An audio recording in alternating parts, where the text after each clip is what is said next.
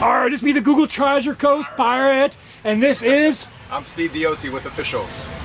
and, and this is some of Steve's work, and this is absolutely wonderful. He's local here in the Treasure Coast. You can look for him on our website. He's at the Pirate Festival today here in uh, Vero Beach, and we are just checking. Now, I love, you know, we have octopuses.